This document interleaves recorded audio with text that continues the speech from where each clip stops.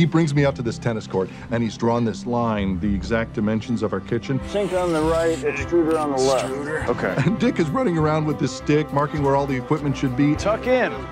Tony, are you gonna skip the pickles when we're really doing it? Yes. No. No. Catch up! Use your lazy Susan.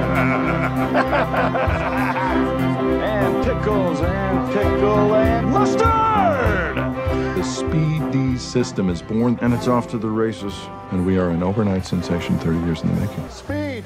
That's the name of the game. The first stop for every McDonald's hamburger is the grill, manned by two cooks whose sole job it is to grill those all beef beauties to perfection. Meanwhile, as the patty cooks, our dressers get the buns ready. Watch out.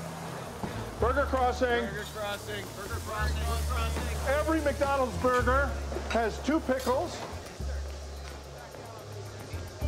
pinch of onions, and a precise shot of ketchup and mustard. Now, where'd you get those? We made them. Made them. Yeah, custom built. Whole kitchen is. Next That is. is the finishing station where we put the whole thing together. And voila, a fresh, delicious burger from grill to counter in 30 seconds.